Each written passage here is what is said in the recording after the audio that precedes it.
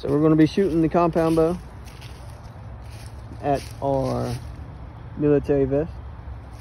We're going to try to see if we can get an arrow to go through.